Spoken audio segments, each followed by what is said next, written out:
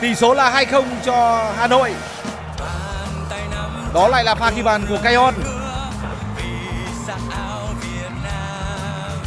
Khoảng cách được nhân đôi. Và cùng với đó là hy vọng để tiếp tục duy trì cuộc đua tới đến ngôi vô địch của đội khách Hà Nội.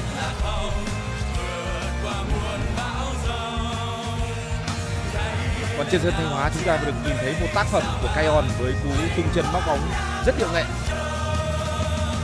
Sự có mặt của Kion là một à, tín hiệu đáng mừng cho đội đương kim vô địch Hà Nội trong rất nhiều những cuộc đua.